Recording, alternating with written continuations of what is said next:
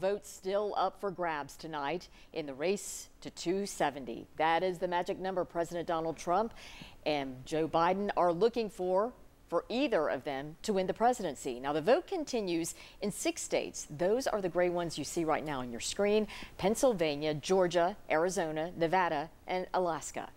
Now, while the counting continues in key battleground states, Tennessee politicians warn the controversy might stretch on for weeks. We turn to 10 News reporter Cole Sullivan, who spoke with local elected leaders about some looming court battles. Cole? Hey, Robin and John. Representative Chuck Fleischmann says lawsuits are coming. Some of them already been filed, and he told us he supports those lawsuits even if it means weeks of uncertainty.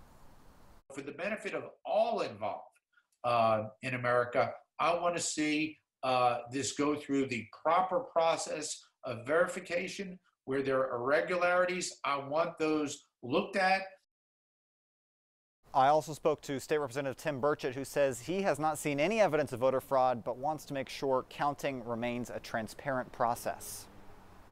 Ronald Reagan used to say trust but verify, and I think we need that. Uh, we need more of that. When the new president is sworn in, the old president is out.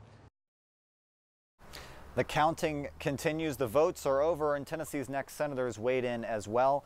Marsha Blackburn and Senator-elect Bill Hagerty both say they want every legal vote counted, and they also advocate for a transparent process. Robin and John, it is important to note there has been no evidence presented by either party of any widespread voter fraud.